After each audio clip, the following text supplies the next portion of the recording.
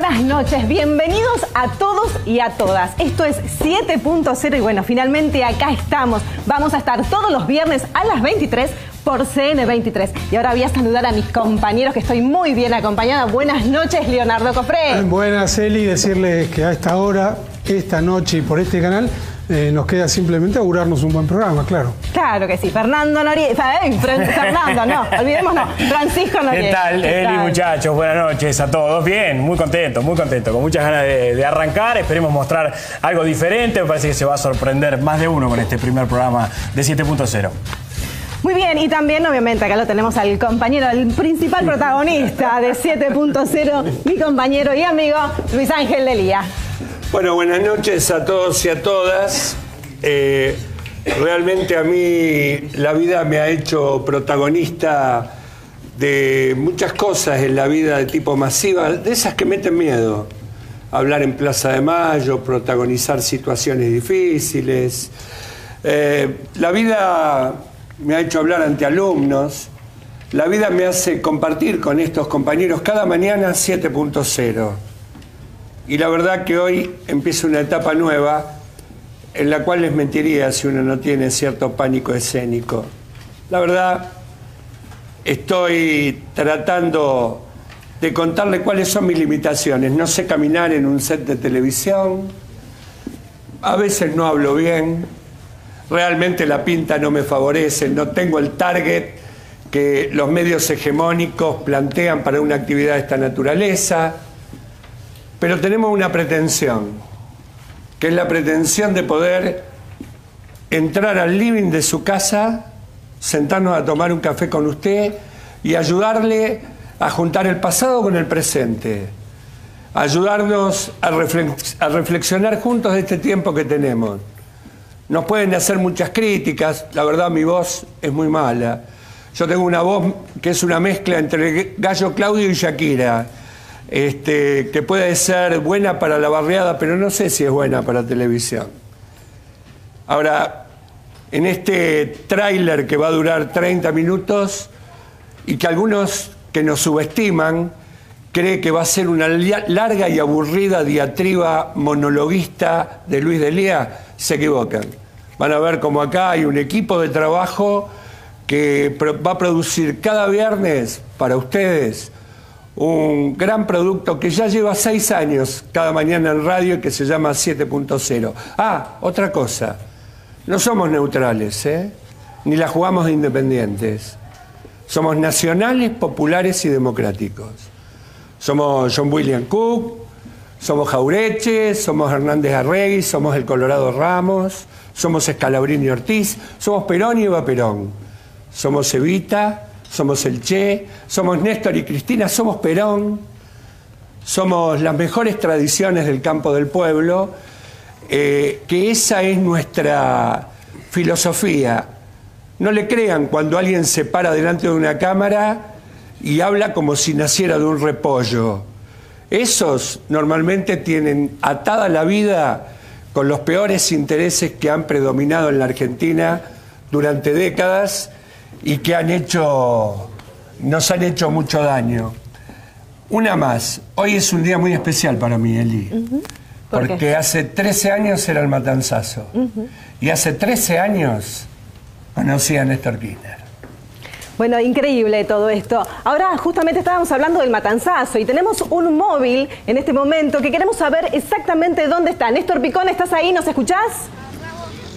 ¿Qué tal? Buenas noches, con mucha alegría y muy bien acompañado, con un poco de frío. Buenas noches a todos y a todas. Estamos en la calle Germán Abdala y Ruta 3, donde en el año 2001, en un día como hoy, terminaba el matanzazo.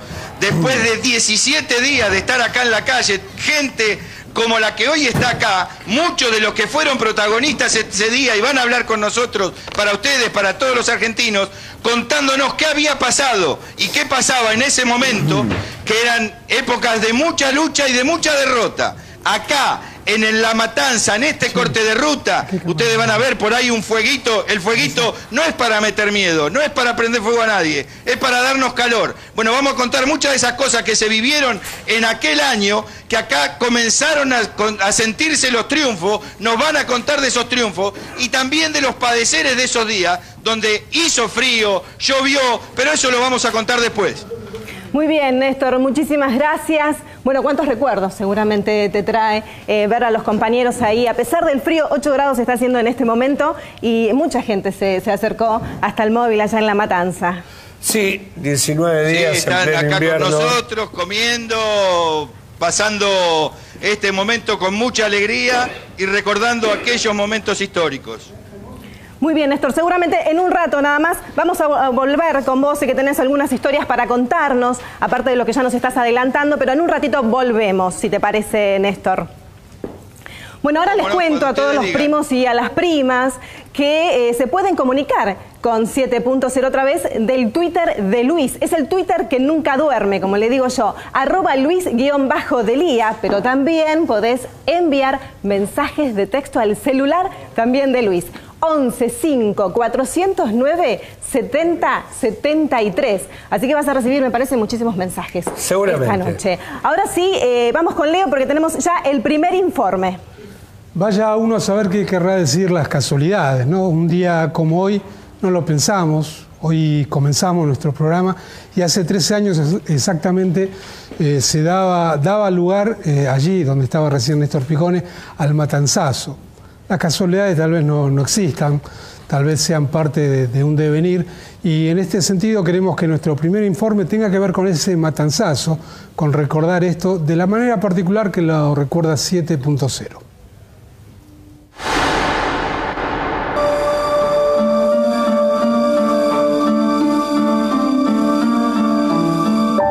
El siglo XXI parecía no traer nada de lo prometido ni el neoliberalismo, ni el capitalismo globalizado parecían cumplir con nada de lo que se auguraba en el siglo anterior.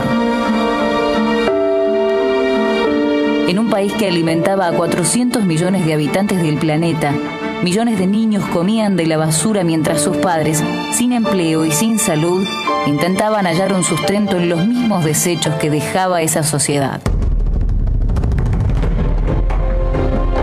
El desempleo y la pobreza provocaron la multiplicación de organizaciones de desocupados que adoptaron distintas formas de reclamo y movilización.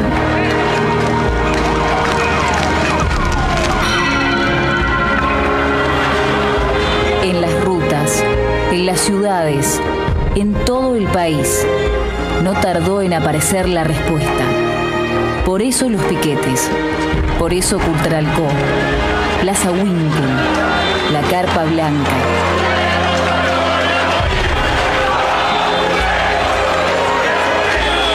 En el año 2001, en el distrito de La Matanza, la Federación de Tierra y Vivienda organizó una protesta que se constituiría en ejemplo y en la chispa que encendería la mecha que explotaría en diciembre. Todos lo llamarían para siempre el Matanzazo.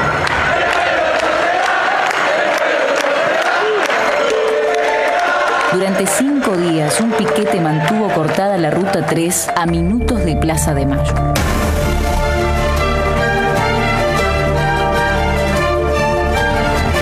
Cinco mil vecinos se instalaron en la ruta y no se movieron más. Otros 20.000 se movilizaron hasta el lugar para solidarizarse con el reclamo.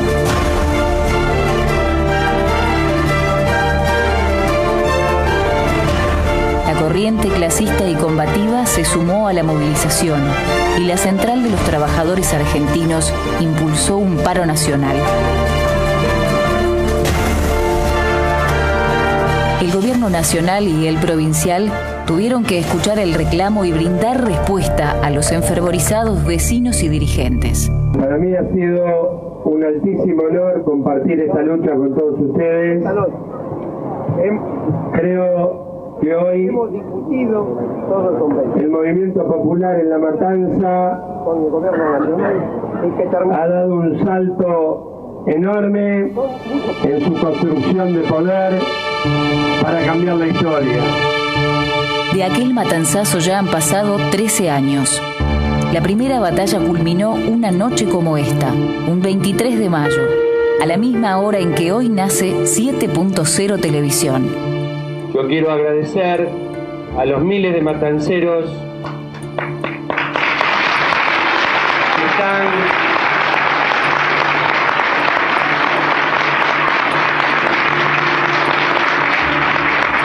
que hicieron el aguante en la ruta 3, al frío, a la lluvia, a las necesidades.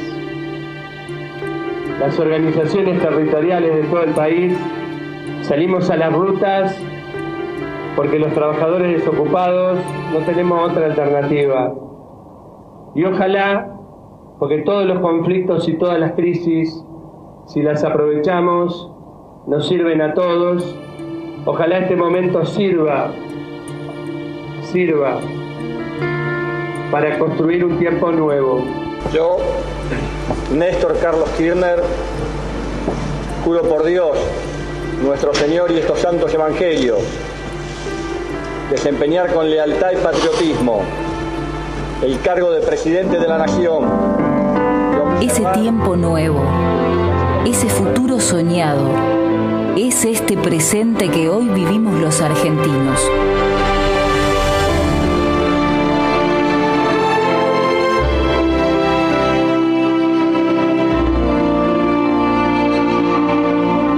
Un presente que tiene sus héroes y sus mártires, sus soldados y sus herederos.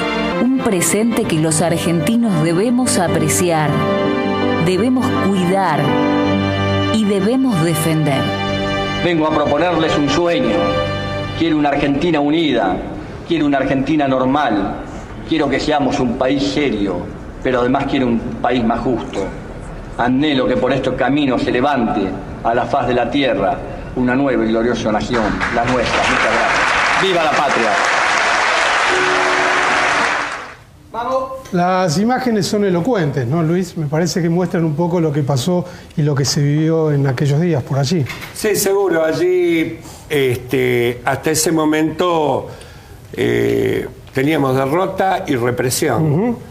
Plaza Wincul, Cutralcó, Tartagal, Mosconi terminaron en represión y muerte. Claro. Este conflicto se ganó en tiempos del discurso único y hablando de grietas, le provocamos la primera grieta fuerte al modelo neoliberal conservador este, y a partir de allí se pateó un hormiguero en toda la Argentina porque se dieron luchas a lo largo y a lo ancho de la patria. Eh, mi reconocimiento a los compañeros de la corriente clasista y combativa, a Juan Carlos Alderete, Nos veíamos ahí. tan protagonista como nosotros. Y en esta noche tan especial, un reconocimiento a quien me presentó a Néstor Kirchner. Hace 13 años, que es mi querido amigo de, de muchos años de la Central de Trabajadores Argentinos, Edgardo de Petri. Sí, yo pensaba mientras veíamos las imágenes ahí, que eh, las primeras imágenes, que todavía la figura de Néstor Kirchner no sobrevolaba allí en, en esas asambleas. Ese día pasó algo muy gracioso, pero Lo tenemos en línea, Edgardo. creo que lo va a contar Edgardo. Edgardo, ¿nos escuchás? Buenas noches. ¿Qué tal? Buenas noches, ¿cómo le va? Muy bien, Bueno, felicitaciones por, por el programa. Que... gracias. Bueno, gracias Edgardo. Vos recordás el último día del, del matanzazo, cuando la Asamblea aprueba el convenio que hacemos, este, cuando se está desarmando la Asamblea suena tu teléfono y contá vos qué pasó. Bueno, ahí había una, en, la Ruta 3 había una extraordinaria movilización popular, eh, plena de solidaridad y de, compromiso. Y la verdad que, que fue un- un- una llamada de allá, como yo digo yo, del sur del sur, era Néstor, que bueno, seguía ya los acontecimientos de la Argentina y como manteníamos una comunicación permanente sobre los hechos políticos y sociales, la matanza había conmovido eh, al país. Y bueno, y le conté lo que estaba pasando, lo estaba mirando por televisión y un poco le comentaba cómo estaba organizado, la, eh, la el movimiento social, y de, de pronto, bueno, me digo, estoy acá, estoy acá en el medio de, este, de esta movilización y le digo, estoy con Luis. Y bueno, y ahí te paso el teléfono, te paso, te paso con Luis, porque era...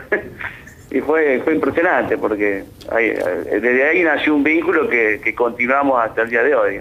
Así es, ese día Néstor Kirchner, Edgardo me dijo, yo voy a ser presidente de la República y todas esas cosas oprobiosas que ustedes están viviendo las voy a cambiar a todas. Y yo que soy un incrédulo le dije, ah, sí, mira vos. Entonces te devolví el teléfono y te dije, che, tu amigo dice que va a ser presidente. Este, y medio me sonreí. Después de andar con vos, que la verdad fuiste un faro en esto, Edgardo, este, hoy a 13 años vista te lo tenemos que reconocer, este, nos dimos cuenta que la historia fue muchísimo más grande de lo que todos nosotros esperábamos, ¿no? Sí, la verdad que fue, yo digo, por primera vez la Argentina visibilizó eh, que los desocupados eran trabajadores, eh, que, estaba teorizado, la CTA lo teorizó muy bien, que la clase trabajadora somos todos los que tenemos empleo y los que no, pero me parece que el matanzazo puso en la escena pública y política bueno, que el problema era la desocupación y, ahí se vio con toda potencialidad y claridad eh, que la organización que, representaba, bueno, era la FTB en ese momento muy fuertemente, la corriente clasista, otras organizaciones, pero en todo caso la clase trabajadora reivindicaba el derecho a trabajar, ¿no? que, fue trascendente ese hecho para mí marca también el rumbo del cambio de paradigma. Cuando viene Néstor, asume que el trabajo es el tema central y creo que empieza otra etapa y otra historia para, la República. Bueno, te agradecemos este recuerdo, Edgardo, y te mandamos un gran abrazo fraternal como siempre. ¿eh? Saludos para vos y todos los compañeros, Luis. Suerte. La verdad que siempre es un placer hablar con el compañero Edgardo de Petri, que nos recordaba lo que había pasado en aquel momento en el Matanzazo ya hace 13 años. Me parece oportuno entonces ahora nuevamente darle este, el paso a Néstor Picone, que está justamente en la matanza donde hace 13 años ocurría todo esto. Néstor, buenas noches, ¿me escuchás?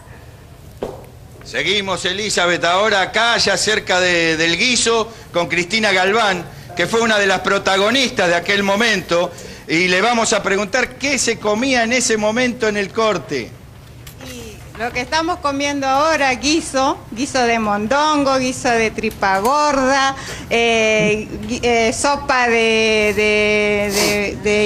menudo. ayudan las compañeras. ¿Y cómo, fueron esos días? Porque se pasaron como 17 días acá. ¿Cómo fue el tiempo? ¿Cómo pudieron soportar el El tiempo que pasábamos y nos pasábamos charlando con los compañeros, que acá con las compañeras, los compañeros, porque veíamos que todas teníamos la misma necesidad entonces nos juntábamos. ¿Cuáles eran las necesidades de ese momento? La necesidad de ese momento era que nos quedamos sin trabajo.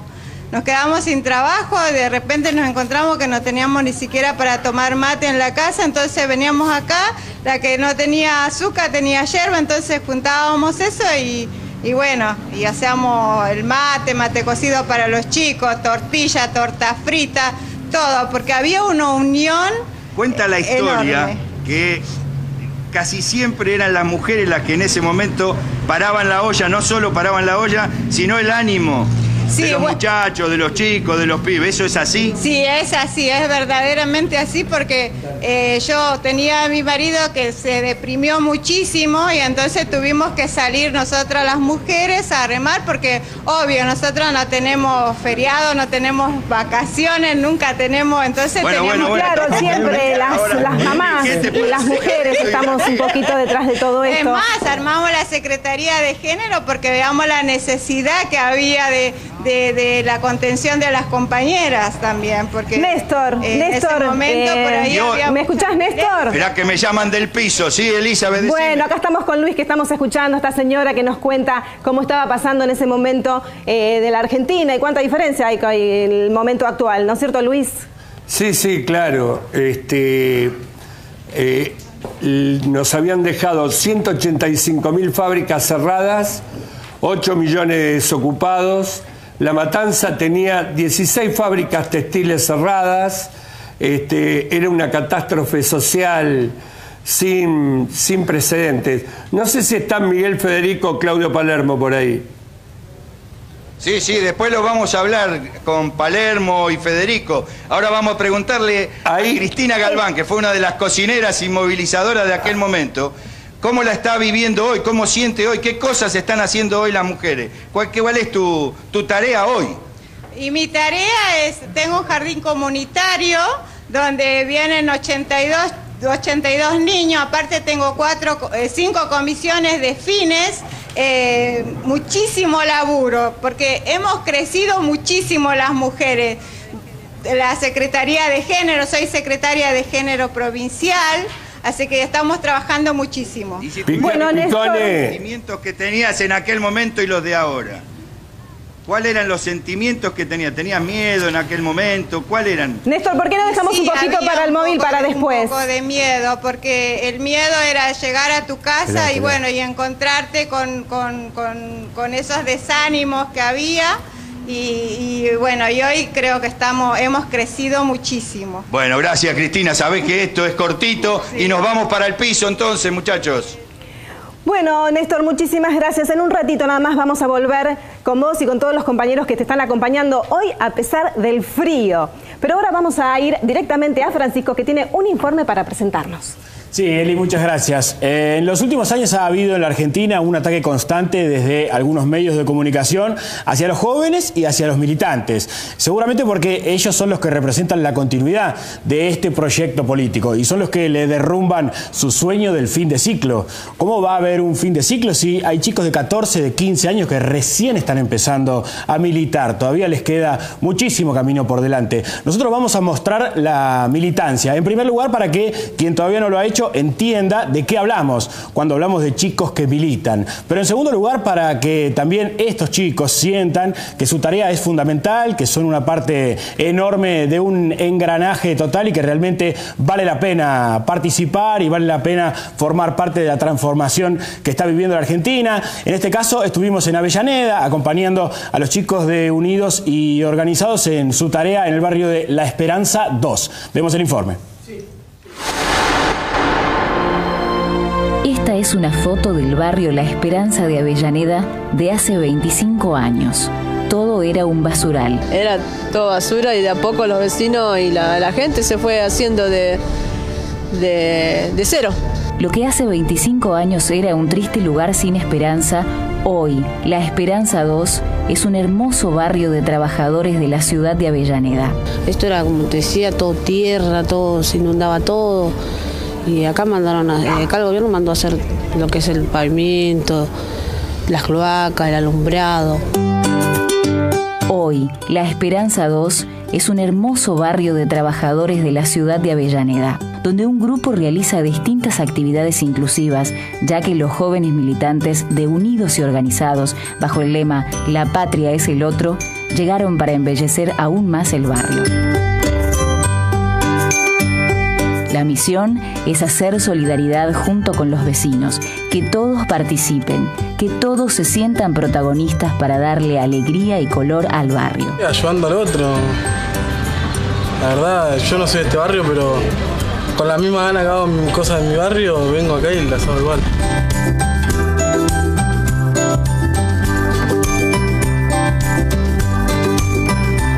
Hacer murales en paredes que antes no tenían pintura, traer información de las herramientas sociales que brinda el Estado al barrio y reparar y darle color a una plaza del lugar fueron acciones que marcaron la llegada de los jóvenes. Pero enseguida, algunos vecinos necesitaron que los chicos les den una mano para podar un árbol que creció, otros necesitaron arreglar una alcantarilla para que no se inunde más la esquina, y así la jornada fue tomando ritmo. Todo comenzó a movilizarse y el barrio se convirtió en el centro de una jornada de trabajo comunitaria. Porque hay mucha gente que no tiene ayuda de como para levantar una pared, algo, o para pagar eh, a, a un albañil algo, no, no, no, a veces no, no alcanza. Y entre todos, eh, una mano se viene bien. Todos aprovechan la jornada. Algunos se animan a pintar su casa para estar acorde a ese embellecimiento barrial. Algunas mujeres se acercan para saber más de esas cosas que muy poco les cuentan por otros medios.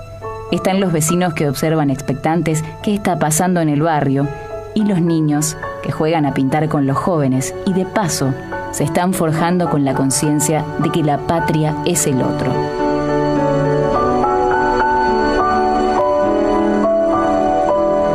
Lo más interesante de todo está en ver íntimamente cómo una parte de la militancia organizada se compromete concretamente con las cosas que el vecino necesita y a veces no se anima a hacer solo.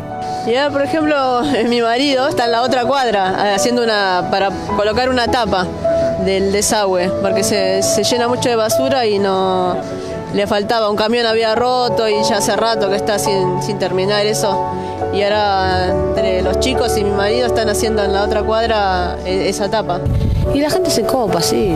Más cuando es para el barrio, para, es para, para mejorar la calidad de la convivencia de- del barrio, sé yo.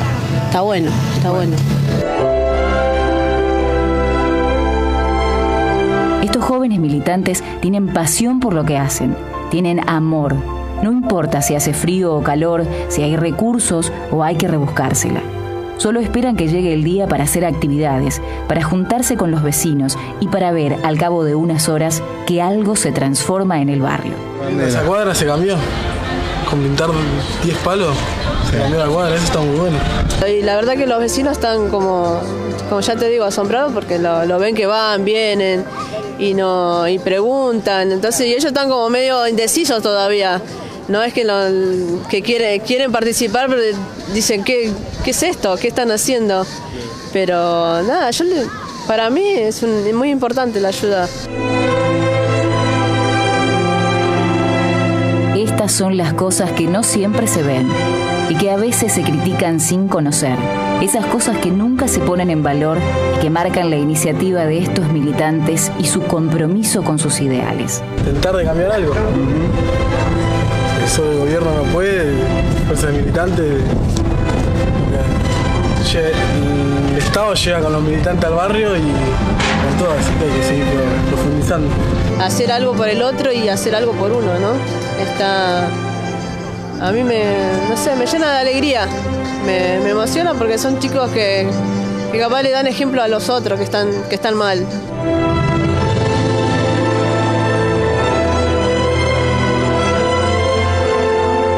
Afortunadamente estas cosas existen en cada rincón profundo del país. Los vecinos las valoran cuando las palpan de cerca y sienten íntimamente que la gran batalla cultural no es en vano para transformar el país en esa Argentina que todos soñamos. Bueno, esto nunca te lo van a mostrar los medios hegemónicos. No es noticia. La solidaridad y la participación de los pibes no es noticia. Como tampoco es noticia que en vez de abrazar el escepticismo de los 90, hoy los pibes abracen la causa de la patria, la causa del otro, la causa latinoamericana. Es maravilloso lo que nos está pasando con estos pichones. Nunca te lo van a mostrar los medios hegemónicos. Para entender un poquito mejor lo que son los militantes, un par de ellos nos visitan en el día de hoy. Camila Herrera, ¿cómo te va? Bienvenida. Hola, un gusto, gracias. ¿Cuántos años tenés, Camila? 16. 16. Juan Acosta también está con nosotros. ¿Cómo te va, Juan? Todo bien. Chicos, ¿por qué militan ustedes? ¿Qué los lleva a militar? Yo creo que eh, en mi caso yo vi en mi barrio muchas transformaciones en los últimos años eh, y todas esas transformaciones me llevaron a, querer comprometerme a que eso, a que eso siga y a, y a ser parte de eso, de esa transformación. Pero yo siempre cuento lo mismo, pero mi, mi barrio es un barrio donde manzanas donde no había nada, son programas federales de vivienda, donde hay un montón de pibes terminando y grandes, terminando el secundario en los fines, y un montón de gente participando. Y, y- y todo eso se empezó a partir de las políticas del kirchnerismo y, y yo quise ser parte de esa, de esa historia. Eh, Camila, seguramente hay gente que no termina de entender bien lo que son los militantes y por ahí cuando ustedes llegan al territorio se sorprenden. ¿Cómo los recibe la gente? Y están los que se sorprenden y están los que nos reciben bien, por suerte, que trabajando, obviamente trabajando mucho en los barrios, se va demostrando lo que vamos haciendo. Y ahí es más cuando llegamos, cuando ven que tenés una constancia con lo que haces y que realmente generas un cambio al barrio. Porque capaz para algunos hacer un mural o hacer un asfalto en una calle o construir una institución dentro de un barrio no es nada, pero para los que viven ahí adentro, que eso es lo que nos tienen, significa un montón para ellos, creo. ¿Qué, qué día les explotó el calefón? ¡pac! que les cayó la ficha, que hicieron, ah, Mm, yo empecé a militar el año pasado y en mi casa militan todos. Y yo como que medio, no, al principio como que no me llamaba mucho la atención, hasta que un día dije, bueno, voy a ir. Y empecé y la verdad es cuando empezás te enamoras. ¿Cómo dijiste? Te enamoras ¿Ah? de la militancia. Dale. Amor, amor, amor. Gracias chicos por haber venido. ¿eh? Seguimos con Elizabeth. Muy bien, la verdad que es un orgullo también como mamá sentir que tu hijo venga y te diga, che, me voy a pintar una escuela, voy a ayudar a un vecino, es, es un placer. La verdad que bienvenido a los compañeros. Bueno, ahora una recomendación. ¿Usted mira los precios? Bueno, yo los miro con atención porque ahora hay precios cuidados, una canasta realizada en base a lo que los argentinos consumimos diariamente, con distintas alternativas, tanto en tipos de productos como en tamaños y calidades. Si querés consultar el listado de productos, entra en la página www.precioscuidados.com. Informes y reclamos 0800 666 1518, porque a los precios los cuidamos todos. Y ahora nos vamos a un corte porque inmediatamente volvemos, tenemos muchos más acá en 7.0. Esa noche que fue la última noche que, que estuvimos, estábamos mirando televisión. Yo estábamos sentados como siempre, en una punta del sillón y en otra en Calafate, y estábamos haciendo zapineando. Y el gordo de Lía. Aparece el gordo de Lía en un programa esos de cable, esos cala- ¿viste? programas este, miles que hay por miles de cables. Y justo entonces nos quedamos mirando. Y estaba justo, viste, la, que si la forma iba a ser, que si iba a ser Néstor, que si iba a ser yo, que si yo repetía, que si no, que si era Néstor. Entonces, este.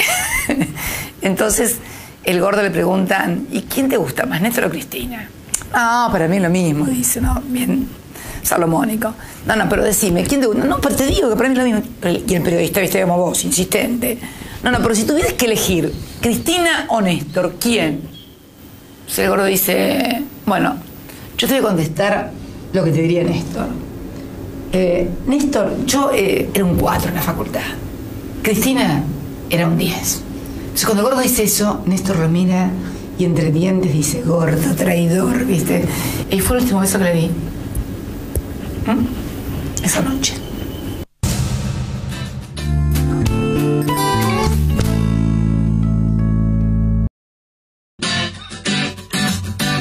¿Qué te pasa, Clarín? eh? Escuchaba a Clarín y decía que nosotros habíamos sufrido una fuerte derrota en Catamarca, yo se los voy a contar bien, y que yo no tendría que haber ido a Catamarca. Que sepan que como presidente del Partido Justicialista voy a ir hasta el último pueblito de la nación argentina que necesite que lo vayamos a apoyar a este movimiento transformador.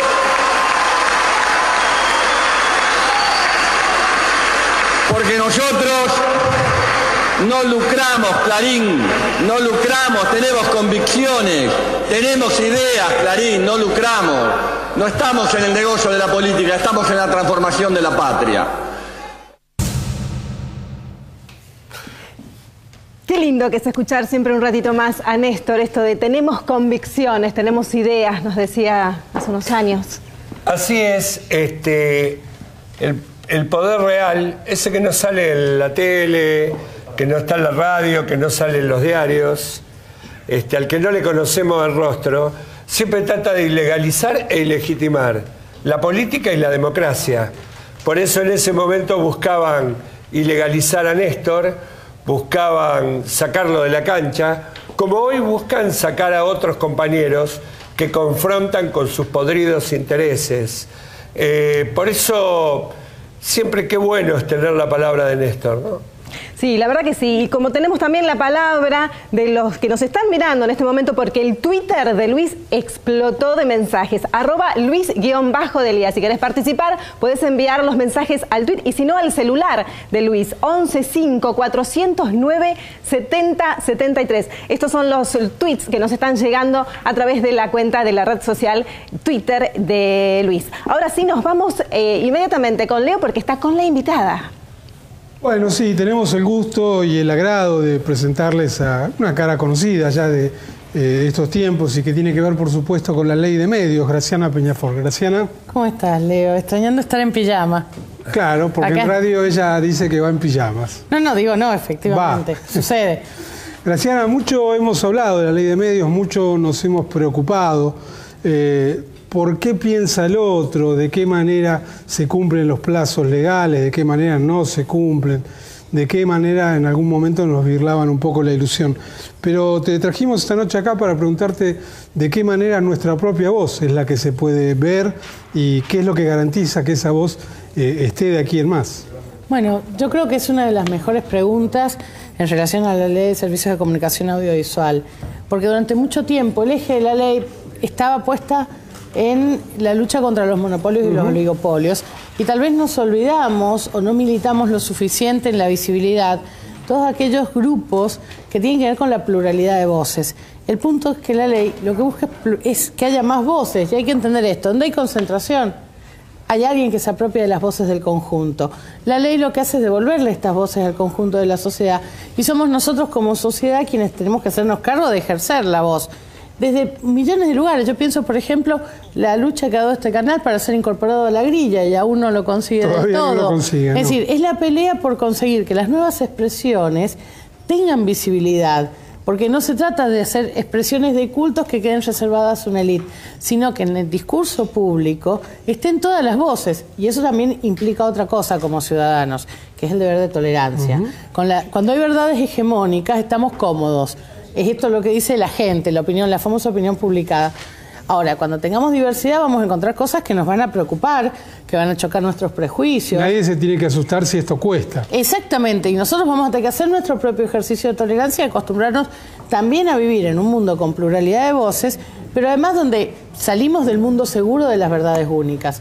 Y creo que ese es el mayor desafío, militar, producir contenidos, ir a las universidades, ir a los barrios, yo veía lo que contaban los compañeros militantes hace un rato, y darle voz a todas esas miradas y todas esas experiencias de vidas que están no solo invisibilizadas, yo creo que hay una cosa que es aún más terrible que la invisibilización, que es la estigmatización.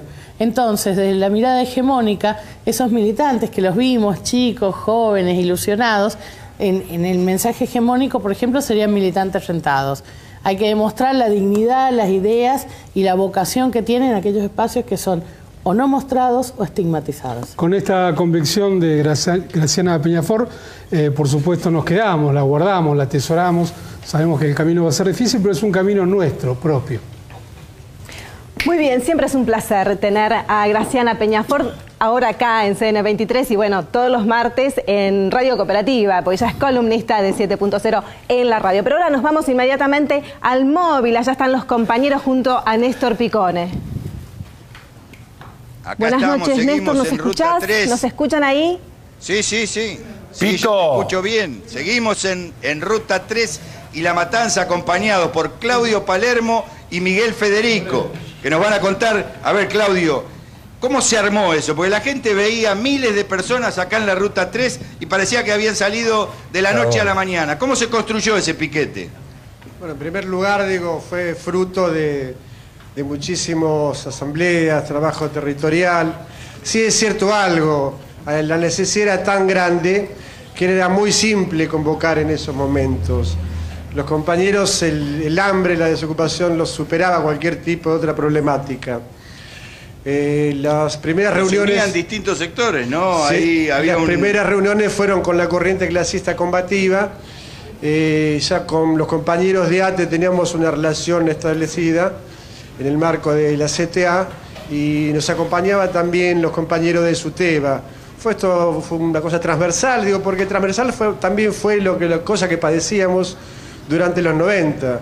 Digo, el hambre, la desocupación nos pegaba absolutamente a todos. Por ejemplo, los compañeros docentes sufrían el hambre en sus alumnos. Pero venían al piquete y daban clase, ¿no? Daban clases desde el piquete, nos acompañaban, así como los compañeros de ATE tenían su, su hospital y su asistencia médica acá, a cargo de ellos. Eh, y bueno, la transversalidad era tal que así se fueron sumando otros grupos menores y así como miles de compañeros libres que visualizaban acá un lugar no solamente de reclamo, sino un lugar de, de esperanza. Un lugar de encuentro. De encuentro y es más, te- te- quizá esto puede sonar crudo, eh, eh, muchas veces el piquete era el lugar donde comían. Acá estaban las ollas donde comían, los compañeros no comían en su casa, no comían, estaba la desesperanza, estaban solos en el barrio, en su casa. Federico. Acá estaba la olla, acá estaba la posibilidad de dar la pelea, de visualizar al enemigo y dar la pelea. Creo que esto fue fundamental. Y se juntaban las luchas. Vos participabas de un asentamiento que se llamaba José Luis Cabeza, justamente porque en ese momento a ese periodista, a ese fotógrafo tan querido, este, lo habían asesinado. En realidad parece que los, Picone. los gerentes de lo- del poder siempre Picone. son los mismos. Sí, Delía, te escuchás, escucho, decime. Eh, porque Sí, te tenemos bien, dale. poco espacio. Lo veo ahí a Miguel Federico. Déjame ayudarte a hacer de decime. notero. A ver, Federico. Bueno, dale, Federico, te pregunta Luis desde el piso. ¿Cómo estás? ¿Cómo Bueno, estás, gordo sabés. querido? Qué lindo verte. Bien, bien. ¿Qué recordás de aquellos días, Miguel? vos que fuiste un tipo clave en todo esto. Bueno, para nosotros, yo hoy lo decía a los compañeros, hoy es una fiesta para nosotros, Luis, porque fuimos capaces de, capaz de poner al liberanismo en la discusión y de rodilla ante la pobreza que se vivía en los barrios. Y yo siempre digo, soy un agradecido porque con el conjunto de compañeros de los barrios hemos aprendido a la solidaridad con la gente, a participar y a, algo importante que nos pasó a los compañeros de ATE, que se firmó el primer convenio social en la sesional de ATE Matanza con algunos personajes eh, del gobierno nacional y de la provincia de Buenos Aires. Digo, es una fecha histórica que hay que agradecerle a todos los vecinos de La Matanza que nos bancaron y que supieron bancar una situación que llegó a un extremo muy importante, que fue lograr objetivos claros. Ensanche de la ruta 3 hasta Cañuela, hospitales móviles, 100.000 kilos de alimentos, medicamentos, digo, trabajo, eh, planes, digo, Luis. Yo creo que hoy tenemos que festejar con todos los vecinos y con todos los compañeros por este acontecimiento y no olvidarnos que a partir de toda esta discusión hubo un cambio en la Argentina gracias al gobierno de Kirchner y que hoy tenemos que volver a la discusión y sostener esta política de Cristina que tiene que seguir luchando por toda la Argentina, porque acá el gorilaje se tiene que ir, no que se tienen que ir pobres, el gorilaje tiene que seguir de rodillas. Nosotros tenemos que ser capaces de construir una Argentina que sirva para todo el pueblo. Gracias, Luis. Mi, eh, Picone. Ahí están, can- Luis, están cantando Ya lo lo que en aquel momento era una respuesta al gorilaje. A ver si Eh, escuchan ustedes. Eh, Sí, decime, Luis, decime. No, ahí, ahí veo algunas caras. Veo a Daniel a tu derecha. a- veo a Javier Pereira detrás de, de Federico. Veo a Santillán. Tantas caras de compañeros que se bancaron esos 19 días en pleno invierno este, y le, prega- le pegaron el- la primera grieta al neoliberalismo este, y que hicieron que dos años después esto desembocara en el 19 y 20 de diciembre del 2001. Realmente una gesta Acá se vive histórica. como una celebración, Luis. Eh, ahora, Acá ¿sabés cómo se llama esa esquina? alegría. Antes se llamaba ¿Cómo Ruta se llama 3. la esquina? Antes se llamaba Ruta 3 y Berlín. Ahora se llama Ruta 3 y Germán Abdala. Gracias al, al gobierno. Hay que agradecerle a algunos, a los compañeros de la corriente clasista y combativa, al compañero Juan Carlos Alderete, a Freddy Mariño. Hay que agradecerle a Alberto Balestrini, que fue un factor decisivo eh, en esas horas de conflicto, cuando nos pusieron mil gendarmes para, para reprimir, gendarmes para reprimir.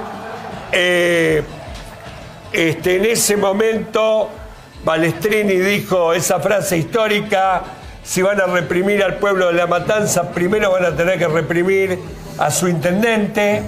Así que, bueno, está muy bueno que hoy recordemos porque, como decía aquel poema de Francisco Luis Bernardes, lo que el árbol tiene de florido vive de lo que tiene sepultado. Y este presente eh, de victoria y de avance que tiene el pueblo argentino tiene ese pasado de lucha. De esta lucha y de otras tantas luchas a lo largo y a lo ancho de la República Argentina que han protagonizado nuestros trabajadores. Bueno, muy bien, Francisco. Llegamos hasta acá, entonces. Sí, lamentablemente voló el programa y no va a poder entrar una nota muy linda que hicimos en el hospital. Alberto Balestrini, allí en La Matanza, a todos los profesionales. Una mentira, ¿no? Sí, una por que supuesto. había dicho por allí. que han dicho en otros medios. Bueno, vamos a mostrarlo la semana que viene a todos los profesionales que trabajan en el hospital, más de 400 personas en un hospital enorme que tiene hoy La Matanza, allí en Camino de Cintura. Muchísimas gracias por haber colaborado con nosotros. Lo vamos a mostrar la semana que viene porque nos hemos quedado con muy poquito tiempo. Bueno, los tiempos que a veces uno no termina de manejar, pero ya aprenderemos. ¿eh? Claro, seguro. Y queremos agradecer también a Néstor Picone y a todos los compañeros que se acercaron al móvil allí en La Matanza. Muchísimas gracias a todos. Y el domingo, bueno, nos encontramos en la Plaza de Mayo, Luis.